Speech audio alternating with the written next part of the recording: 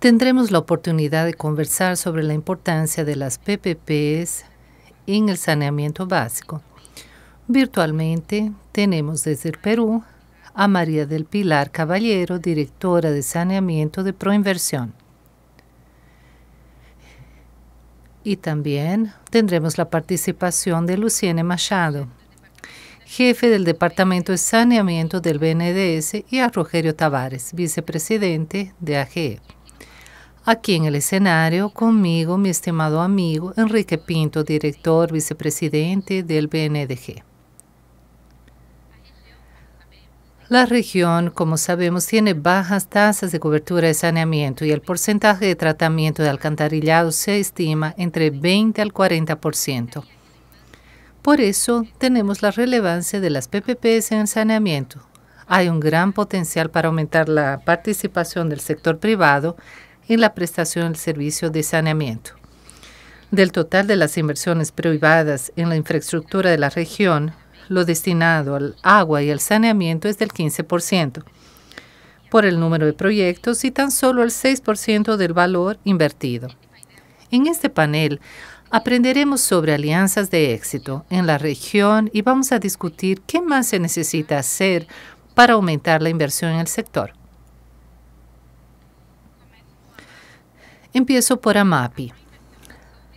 La Proinversión lanzó recientemente una publicación sobre las PPPs en el sector de saneamiento y quisiera entender un poco más sobre esa publicación que explica un poco cómo las PPPs en el sector de saneamiento aportaron para cerrar la brecha del acceso del país y mejoró la vida y la calidad de 18 millones de peruanos. ¿Podría entonces compartir con nosotros esos desafíos y lecciones aprendidas?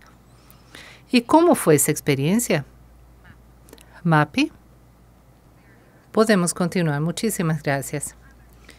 Bien, estaba diciendo Carolina que nosotros tenemos mejorado nuestra calidad de vidas para 8 millones de peruanos al tener y diferentes proyectos importantes para los cuales les daré algunos ejemplos de concesión de proyectos de agua en el sur que han significado una mejora del porcentaje del tratamiento de agua en la región.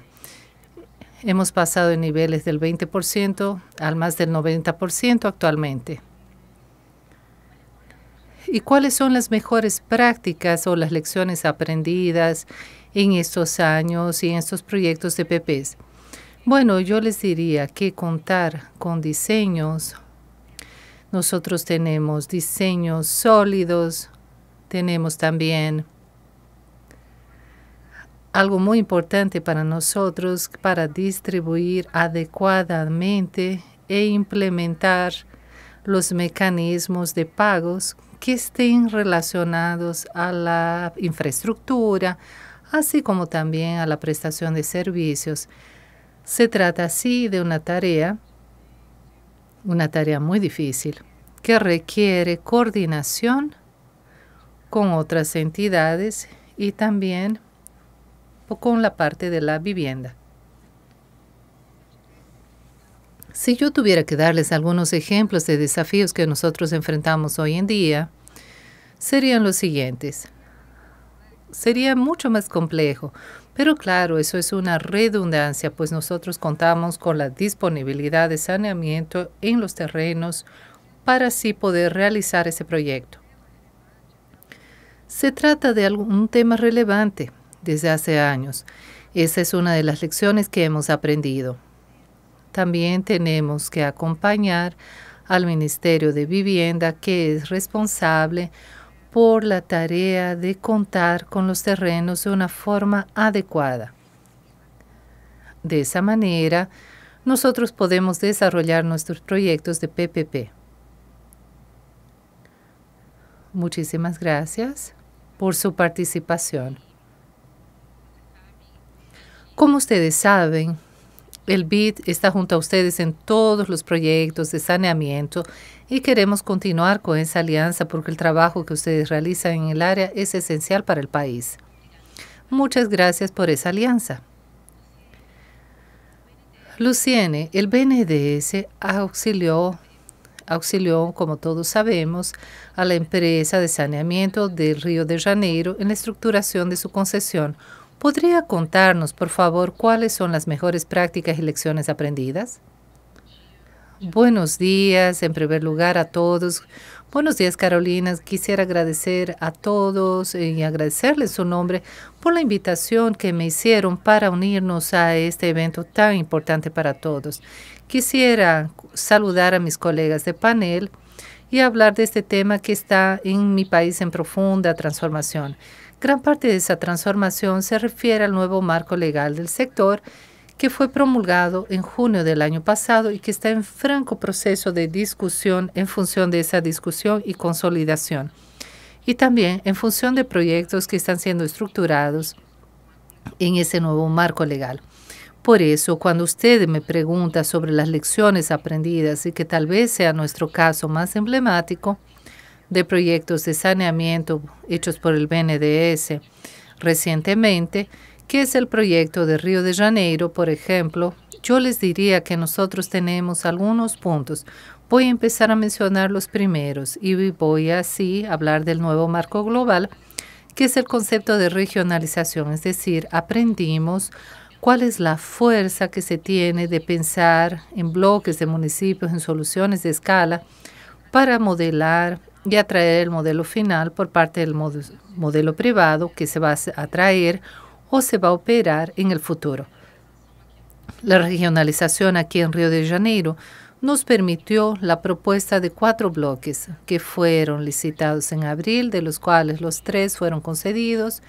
En el último bloque es un objeto de nueva, de nueva subasta aquí en Río de Janeiro, con obligaciones de inversión bastante relevantes, con un CAPEX para la universalización de esos servicios de prácticamente 30 millones en ese periodo, además de una recaudación muy expresiva. De esa manera tendríamos aquí un proyecto que va a alcanzar en el estado de Río de Janeiro con su configuración final casi 14 millones de personas. Tenemos un proyecto que dirige algunos puntos específicos también tanto del Ministerio Público como de la Defensoría Pública, así como también proyectos muy importantes aquí para la región, donde se encuentran de disposición de la Bahía de Guanabara, dirección para la disposición de complejos de lagunas muy importantes en el estado y también trae un componente específico de inversión previamente definido para áreas irregulares en las comunidades de Río de Janeiro. Y todo eso todo eso reúne el hecho de que nosotros tenemos un municipio que es el de Río de Janeiro, que es bastante grande, es el municipio cargador, que fue repartido en cuatro bloques y asociado cada una de esas regiones en Río de Janeiro con municipios del estado que se unieron. Entonces hoy vamos a tener un proceso con prácticamente 49 municipios al todo, lo cual es un proyecto muy sólido un proyecto que va a entregar no solamente la universalización del agua y del alcantarillado, sino también todos esos otros puntos que mencioné antes. Esa no es solamente una ambición, un deseo del BNDES como estructurador, sino también de su contratante, el gobierno del estado de Río de Janeiro, para esa alianza con todos esos municipios y con la misma creencia de los dos grandes operadores ya indicados en esos tres bloques ya concedidos. Por ejemplo, la ingeniería de saneamiento, que Rogerio va a hablar muy pronto, probablemente sobre ese tema y sobre otras experiencias de la compañía, así como también AIWA. Entonces, en realidad es un modelo, es una propuesta que acabó siendo compartida con muchos y por eso lo entendemos como exitoso. Solo para pasar rápidamente a otros dos puntos, ¿quién es ese proceso de implementación permanente con los operadores y con todos los stakeholders de un proyecto completo como este en el Estado? Creo que nosotros aprendimos en el fondo varias cosas, pero tal vez la fuerza de la regulación contractual como un elemento bastante relevante en un segmento que está empezando a madurar, sus conceptos, a tener un marco regulador nuevo que está siendo sedimentado poco a poco. Y claro que estamos trayendo a la realidad del contrato de concesión, que es la realidad del modelo que aquí nosotros vimos. Y una buena parte de lo que es la población con conceptos claros, bien definidos, con una posibilidad de que la agencia reguladora aquí pueda operar en la gestión de esos procesos de una forma mucho más ligera, con menos costos de transacción, fue el elemento más destacado por los interlocutores como el punto fuerte del proyecto.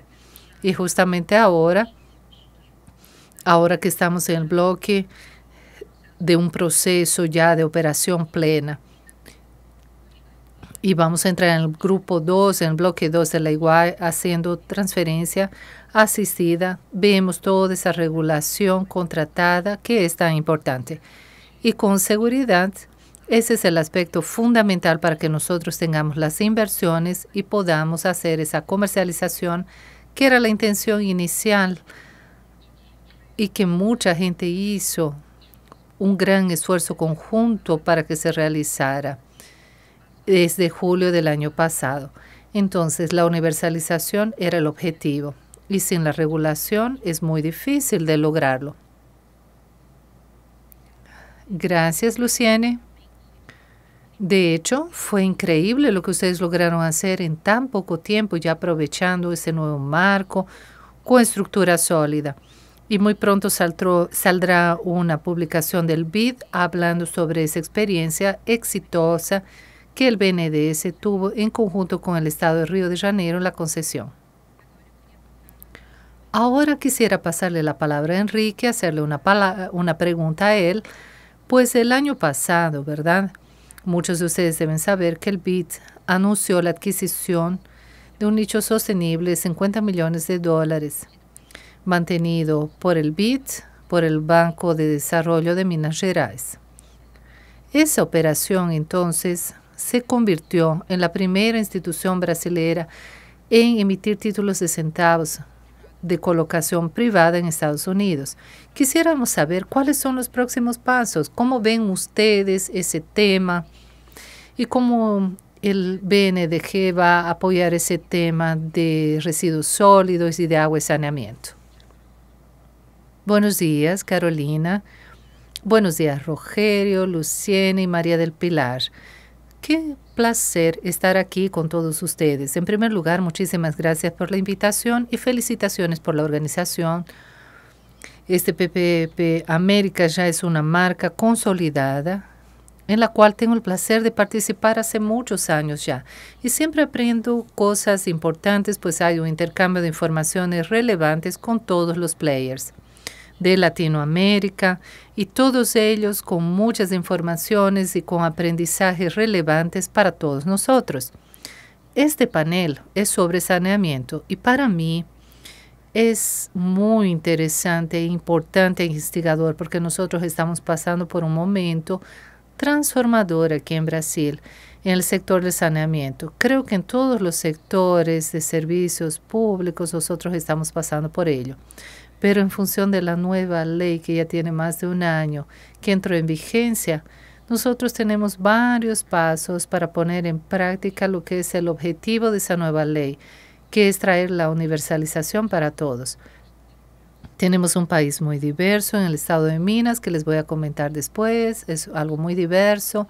Tenemos centros que son centros que tienen servicios de agua y alcantarillado ya y también tenemos áreas que tienen 0% de tratamiento y de recolecta de alcantarillado y también un porcentaje muy relevante que no tiene agua tratada.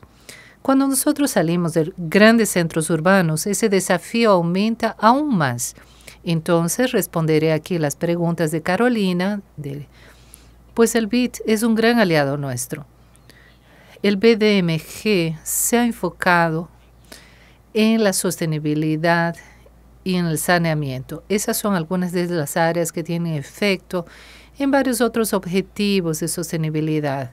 En función de ello, en función del trabajo que el BNDG ha hecho con apoyo decisivo del BID, nosotros logramos lanzar ese título, que es un título internacional aquí en Brasil sostenibilidad en el Banco de Desarrollo. Eso es muy relevante en el trabajo que estamos realizando, pues ese, ese es el inicio de un proceso que nosotros nos imaginamos que puede ser una base de captación sostenible para los proyectos sostenibles. Así será en condiciones que permitan un trabajo del BNDG en Minas Gerais que haga el papel de un banco de desarrollo, llevando el desarrollo para todos, todos los municipios del estado. Creo que no todos lo saben en detalle que el estado de Minas Gerais es más o menos el 10% de Brasil y replica en varios aspectos lo que sería Brasil. Tenemos un gran número de municipios, 953 muy diversos. El área de la región sur, por ejemplo, tiene un IDH muy alto, la región norte y noreste tiene un IDH más bajo, donde residen y se encuentran los mayores desafíos. En el tema del saneamiento, una vez más, nosotros estamos muy involucrados en la puesta en práctica de los objetivos que la nueva ley trae. Son los desafíos y objetivos, como Luciana ya mencionó, que buscan la universalización y para eso induce entonces a una solución en conjunto de los municipios.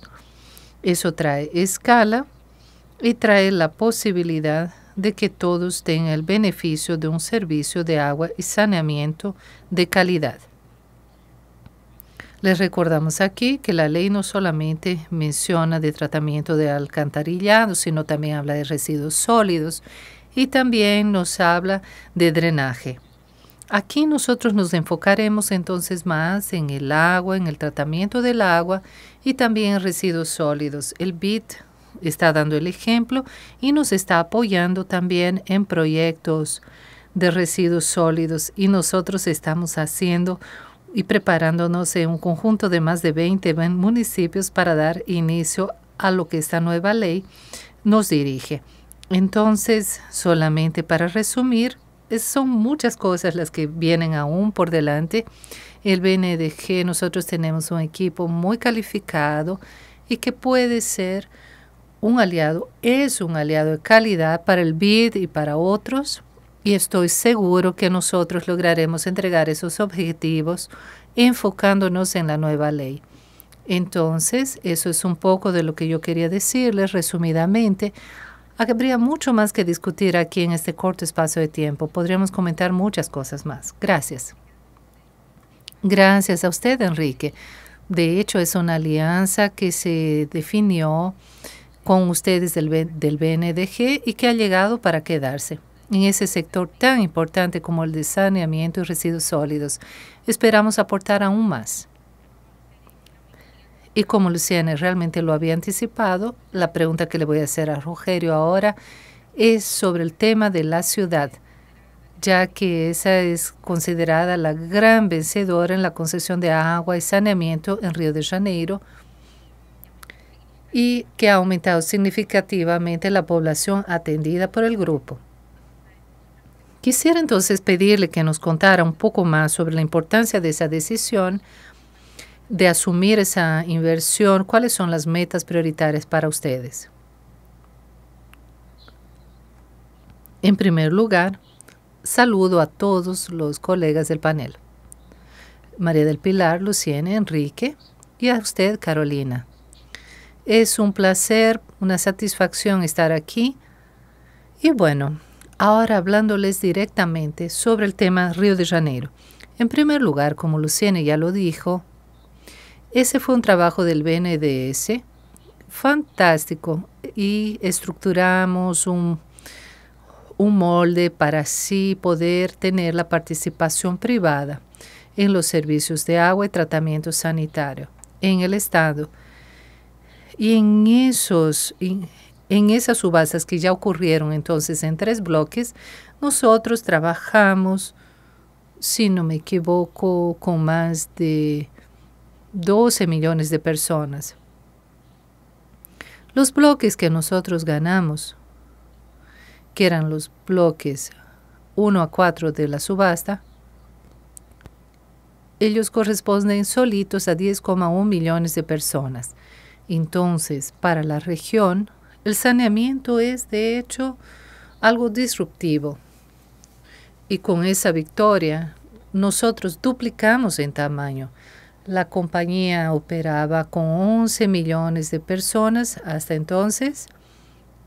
Y después, en Río de Janeiro, nosotros estamos ahora atendiendo a 21,2 millones de personas, o sea, un 10% de la población brasileña, que es, digamos así, algo sumamente significativo para nosotros. Y ese entonces es nuestro propósito, atender personas, transformar vidas a través de nuestro trabajo. En el caso de Río de Janeiro, ya tuvimos 15,2 millones de reales utilizados en estos dos bloques que corresponden entonces a 124 barrios de la ciudad de Río de Janeiro, o sea, centro, zona sur y zona norte y más de 26 municipios que se encuentran, incluyendo la región de San Gonzalo, Humaitá, Baixada Fluminense. O sea, me estoy refiriendo aquí a municipios mucho más grandes. Y para una inversión de ese tipo, de ese porte de 124 o 125 municipios, nosotros estamos hablando entonces de 24,2 millones de reales en ese periodo de concesión, siendo que ahora tenemos una buena parte de esto que tendrá que ser invertida en los primeros 12 años, que es la meta de universalización del saneamiento y que viene desde que va hasta diciembre del 2033. Entonces, en ese conjunto de 10 millones de personas que nosotros vamos a atender, tenemos aproximadamente un 99% de atención en agua y otro porcentaje en colecta de residuos. Eso significa que en los primeros 25 años tendremos una inversión de millones de reales, observándose así entonces que hay una parte significativa que es la que involucra acciones, acciones de colecta y de tratamiento de alcantarillado y que así también implicará un proceso de, de disposición en la bahía de Guanabara. Claro que toda esa acción corresponde a acciones sanitarias y problemas de la bahía de Guanabara, que corresponden a 2,7 millones de reales y que tienen que ser entendidos en esos primeros cinco años.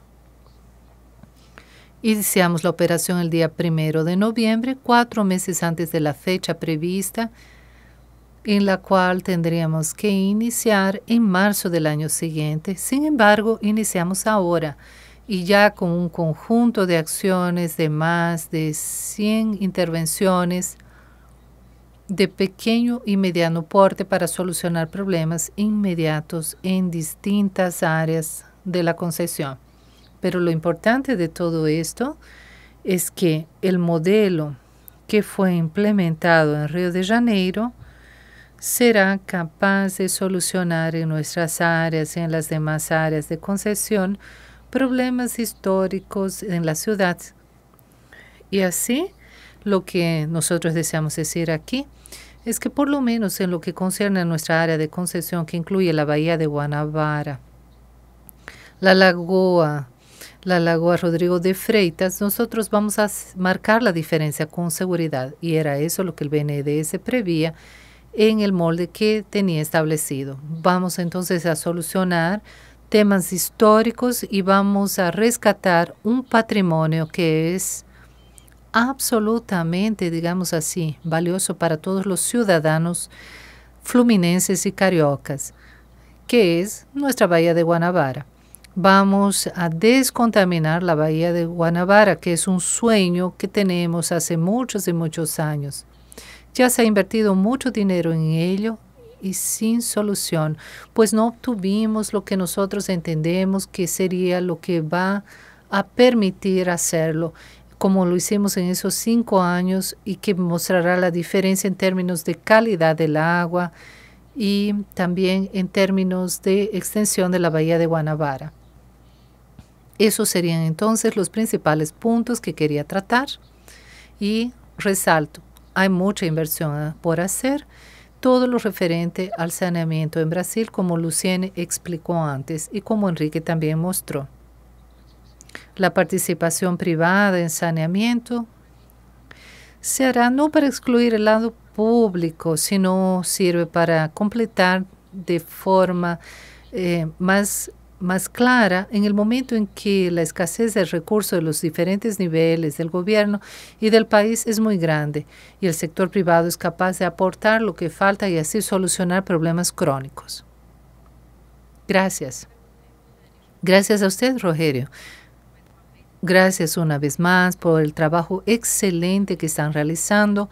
Espero que dentro de cinco años podamos entonces hablar una vez más sobre el PPP bien exitoso que limpió la bahía de Guanabara y podamos mostrar ese primer ejemplo de la nueva ley y ver cómo las alianzas público-privadas del sector tienen sentido y han llegado para quedarse.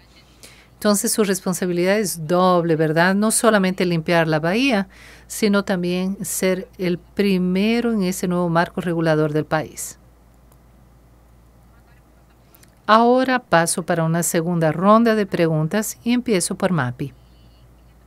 Quisiera saber un poco, mirando el futuro, si ustedes tienen algún pipeline de proyectos junto con el Ministerio de Vivienda, ¿Cómo ven ustedes el tema del aporte del sector de saneamiento de las PPPs?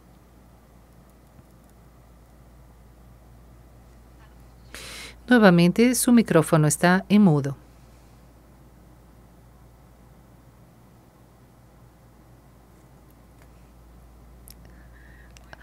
¿Ahora me escuchan? Sí, ahora sí. Les pido disculpas por esos problemas técnicos. Como usted dijo, Carolina, al abrir el panel, aún hay mucho por hacer y en Perú también. Tres millones de peruanos no, peruanos no tienen acceso al agua potable y más de siete millones no tienen acceso a saneamiento. Eso todavía es aún más complejo en áreas rurales. Y ese es un tema muy importante. Nosotros aportamos al reducir esa falta de acceso por medio de proyectos e invertimos más de un millón trescientos mil dólares. El mayor proyecto que nosotros tenemos y que va a ser convocado en el primer trimestre del próximo año es un proyecto de adaptación Es un proyecto de adaptación y conducción y traslación de agua potable para una región de Lima. Ese es el único proyecto que nosotros tenemos para Lima, que es un proyecto autosostenible, o sea, es pagado por las tarifas, por los impuestos. Tenemos un paquete de tratamiento de aguas residuales también y ese es el primer proyecto que va a ser adjudicado en el primer trimestre del próximo año. Es el tratamiento de las aguas residuales. Nosotros contamos con el apoyo y la asesoría del BID, lo cual fue muy importante. Y esa es la primera planta de tratamiento para aguas servidas que va a ser adjudicada el próximo año. Por otro lado, tenemos dos plantas de desalinización en nuestro paquete, una para el área norte del país y otra para la zona sur. Y por último, y por último, nosotros también tenemos un paquete que tiene diferentes grados de desarrollo. Algunos de ellos se encuentran en la fase más inicial, otros están un poco más adelantados y tenemos la planta de tratamiento de aguas residuales. Es un paquete grande, uno de los mayores proyectos que tenemos en la inversión en términos del número de proyectos y vamos a licitar ese tratamiento también. Y así tendremos varios anuncios sobre esos proyectos. Gracias, Carolina. Muy bien. El mercado entonces puede ver que tenemos varios proyectos en el pipeline, en Perú también. Enrique, ahora le paso la palabra para entender cuál es su opinión, Enrique, de un especialista del sector hace tantos años que creó esa área de estructuración de proyectos aquí en Brasil y cómo el sector público-privado está preparado para esas inversiones, esas áreas del sector, para así alcanzar esas áreas de desarrollo sostenible. ¿Qué debería cambiar? ¿Qué podría mejorar en el país para realmente lograr alcanzarlo? Pues bien, Carolina, escuchando a Rogerio, a Luciene y a María del Pilar, yo me siento bastante emocionado porque se lograron hacer números, no sé si las personas logran notarlo, pero los números que Rogerio citó fueron 15 millones de concesiones en los primeros años y cómo nosotros logramos pasar de una situación en la cual, citando solamente a la región de Río de Janeiro, y no mencionando otras regiones en las cuales ellos mismos dicen que nadie creía que la bahía de Guanabara pudiera ser descontaminada. La ciudad de Río pasó por una crisis en la cual las personas, por ejemplo, veían que no se hacía saneamiento en la vacía de Bangú y entonces el agua quedó tan contaminada que se vendía agua contaminada después de haberla tratado. O sea, yo no soy especialista en tratamiento de agua, pero se creó una crisis pues el agua no era vendida con la calidad que debería tener. Y nosotros teníamos ahí esa situación. Es imposible hacerlo. ¿Cómo lo vamos a hacer? Y no se hacía.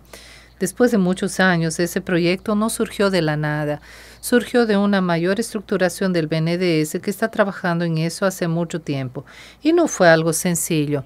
Salió después de mucho trabajo.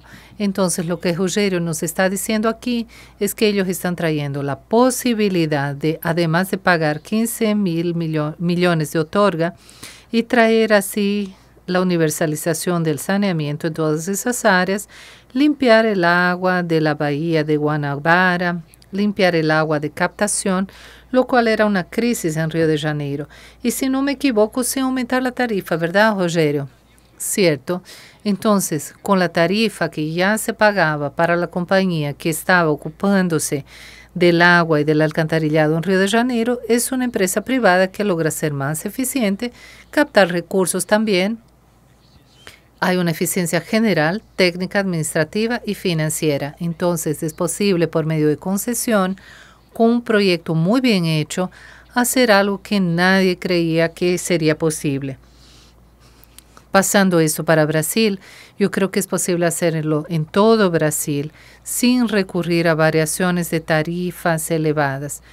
No se puede afirmar claro eso pero yo podría decir que es posible hacerlo dentro de la capacidad que la población tiene para pagar. En ese sentido, que la nueva ley nos dio de aglutinar muchos municipios para que sea posible la universalización, también es posible que todos paguen la tarifa que todos pueden pagar. Entonces, ¿es posible hacer eso? Sí, sin poner recursos fiscales. Parece increíble, pero es cierto. Entonces, esa es la parte que a mí me emociona cuando lo escucho. Ese es el inicio. Los proyectos ya venían siendo desarrollados y ahora, desde antes, de antes de esa nueva ley, la nueva ley, como Luciene lo comentó, dirige hacia ese mismo camino. Entonces, yendo hacia Minas Gerais, nosotros estamos viendo que el BNDG está trabajando intensamente en ese sector. Yo diría que el equipo del BNDG es, uno de los equipos que más entiende de saneamiento de la nueva ley de saneamientos. Nosotros hicimos un trabajo conjunto con la Secretaría del Medio Ambiente para proponer la nueva ley que propone las unidades regionales.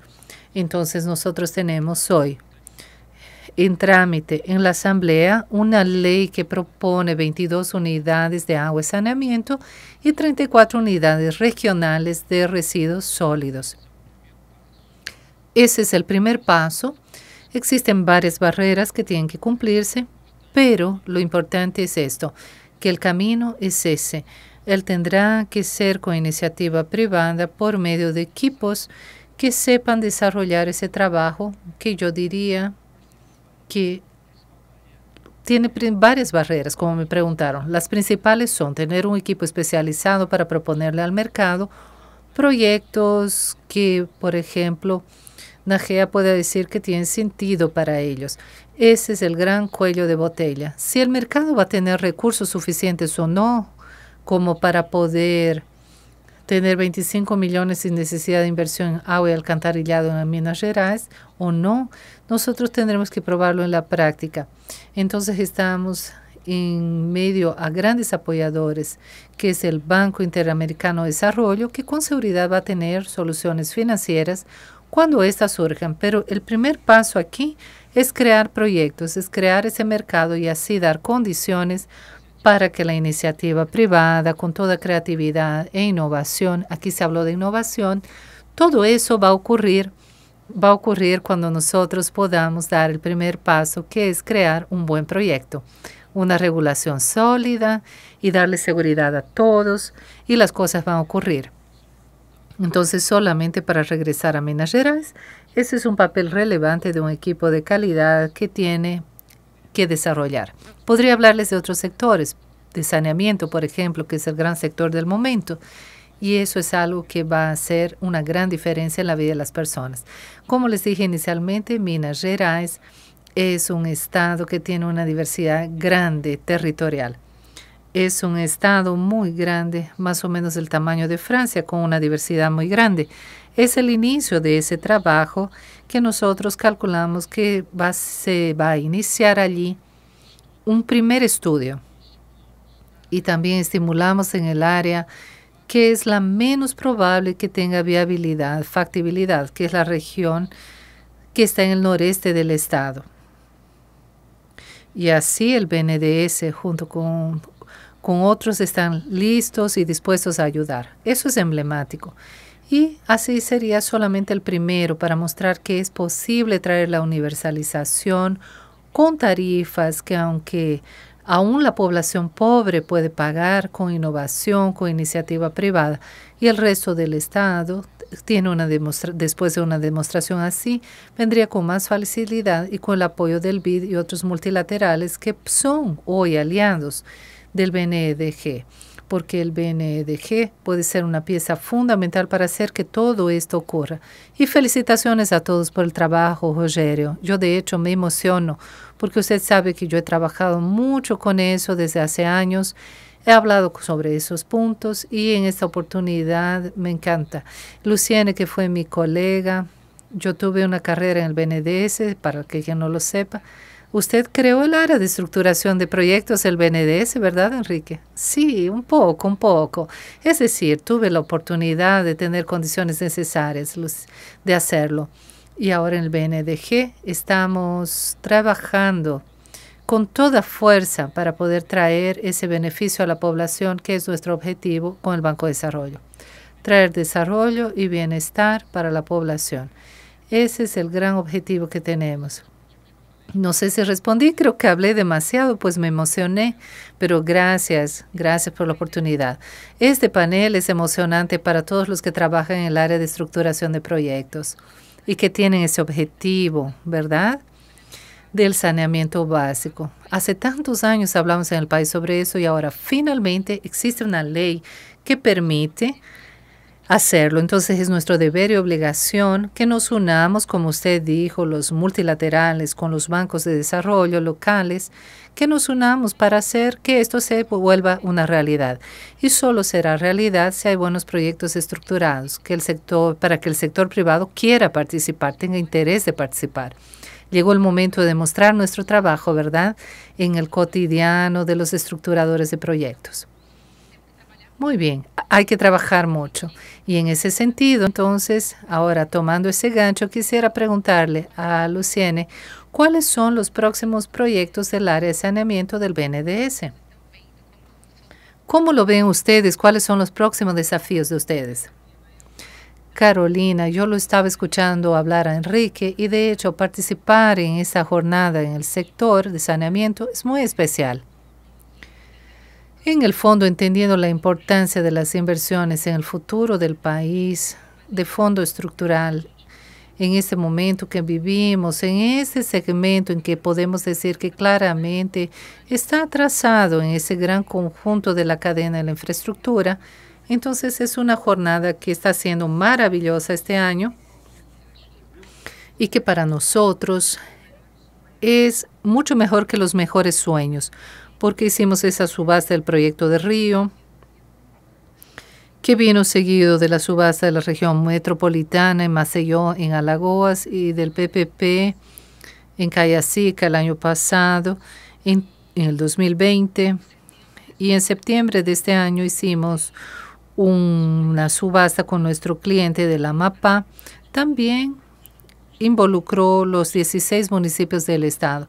Fue una subasta fantástica que además de atraer un nuevo operador del saneamiento, que es el centro y el objetivo que nosotros tenemos tan importante aquí, quisimos traer otras miradas, otras perspectivas, otros operadores para este conjunto expresivo de inversiones que estos proyectos involucran en principalmente el sector ecuatorial. Y este año terminará con dos subastas simplemente. Dos subastas en el mes de diciembre. Uno ocurrirá la próxima semana en Alagoas que completan el proceso de universalización de este Estado que fue pionero en la creencia de los grandes conceptos de ese nuevo marco legal y que por lo tanto va a recoger los frutos, va a cosechar los frutos para dar la cobertura especial en el tratamiento del alcantarillado para la población. El próximo día 3 estaremos entonces en São Paulo y ya estamos muy entusiasmados porque la entrega de propuestas ocurrió ayer. Claro que no voy a adelantar nada, pero sí nosotros si, tenemos esos resultados como tuvimos en otras subastas con muchas propuestas presentadas, veremos que será una subasta competitiva. Y para concluir el año, el día 29 de diciembre, el Banco 3 de Río tiene esa oportunidad de que la subasta de ese bloque traerá, y debido a una contingencia de la subasta, se había presentado una propuesta por IGEA y de hecho fue victoriosa. Entonces tal vez sea la más victoriosa del sector con dos bloques y retiraron la propuesta del bloque, bloque 3, lo cual nos dio la oportunidad de, junto con el Estado de Río, ampliar ese bloque.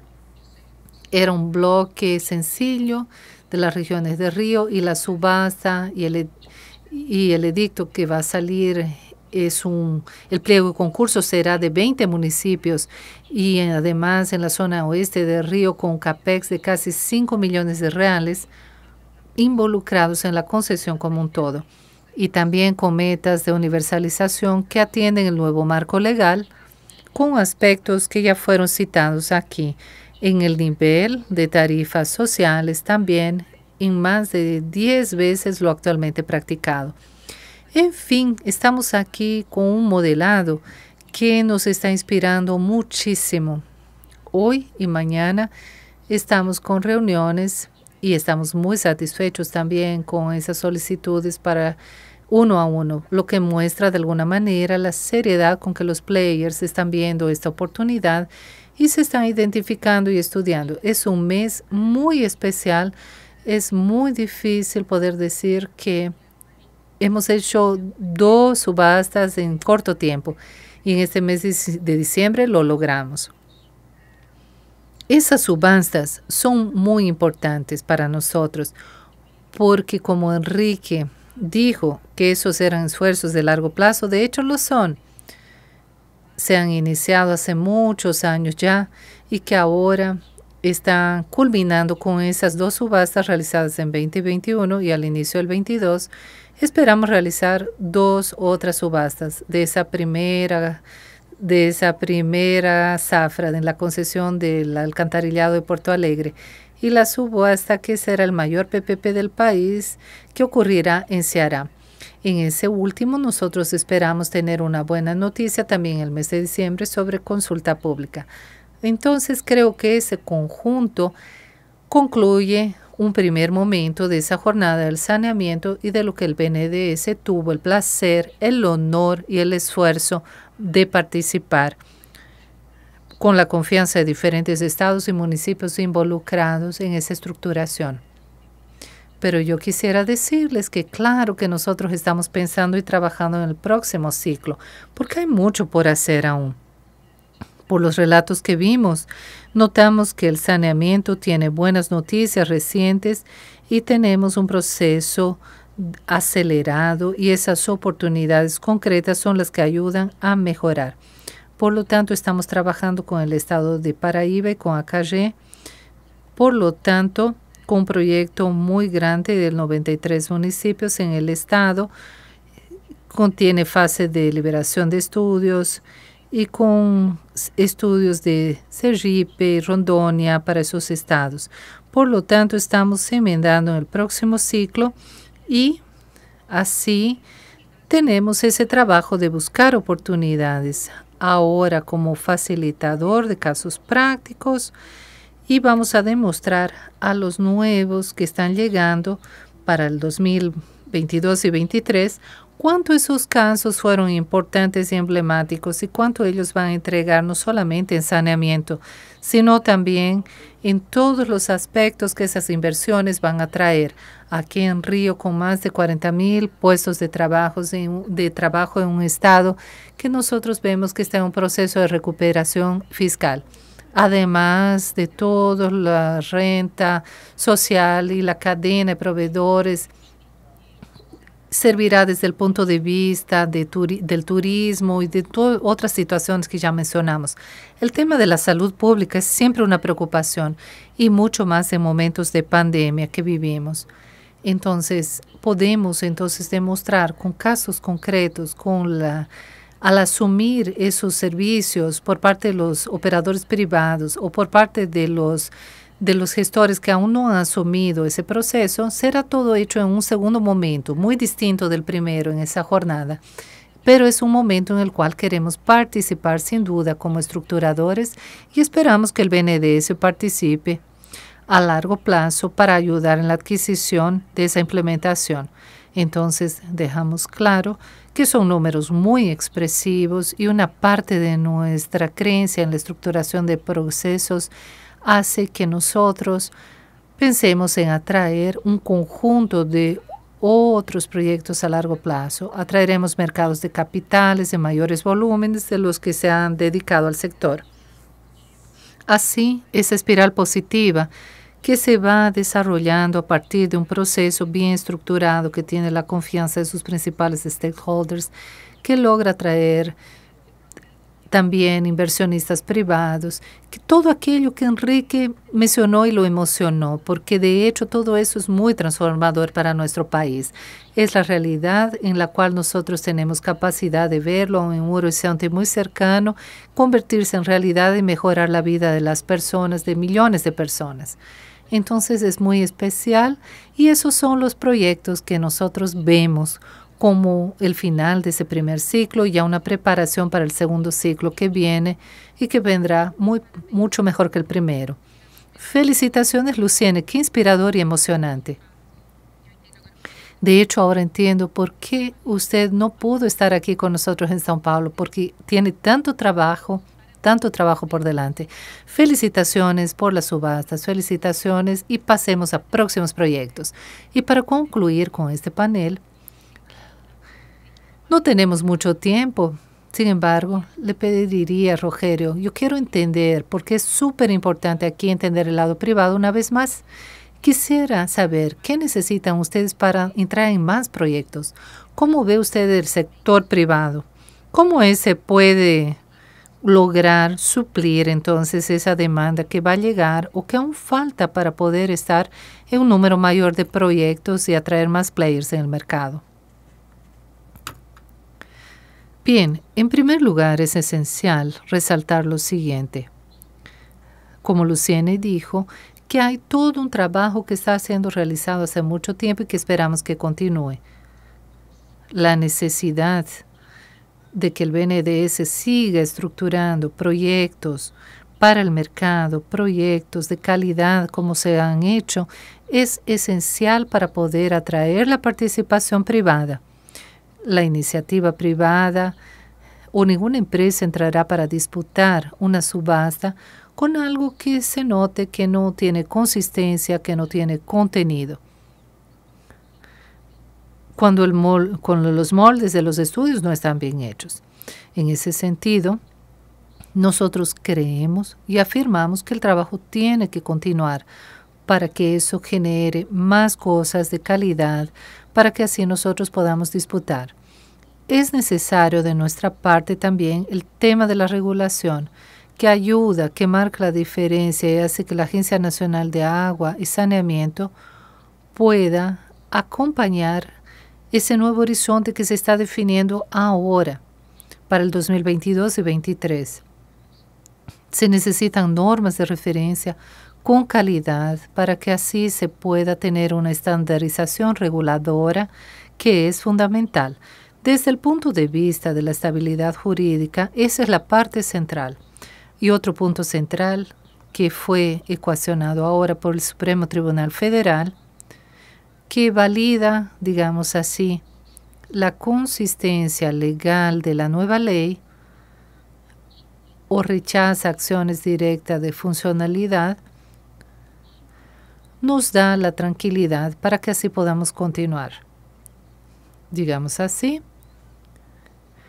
existe una necesidad de estabilidad económica para que así se pueda conseguir captar recursos con más facilidad en el mercado entonces, no serán solamente las fuentes oficiales de crédito las que van a lograr alcanzar el volumen enorme que hay por delante.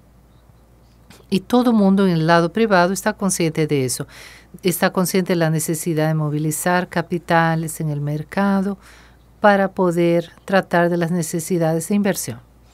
Entonces, básicamente sería eso. Tenemos la regulación y la estandarización que se va a hacer y que depende y que depende aquí de la estabilidad en términos económicos para así tener junto al mercado condiciones satisfactorias de captación. Básicamente es lo que yo entiendo como esencial. Muchas gracias, Rogerio. Creo que antes de concluir este panel, vemos que tanto en las experiencias del Perú como de Brasil, las PPPs, de hecho, en ese sector han llegado para quedarse y son fundamentales para que de hecho podamos lograr los objetivos del desarrollo sostenible y así lograr el acceso de calidad a los servicios de saneamiento para toda la población en la región. Muchísimas gracias a todos, muchas gracias a los panelistas. Es un honor estar con ustedes aquí hoy. Muchas, muchas gracias.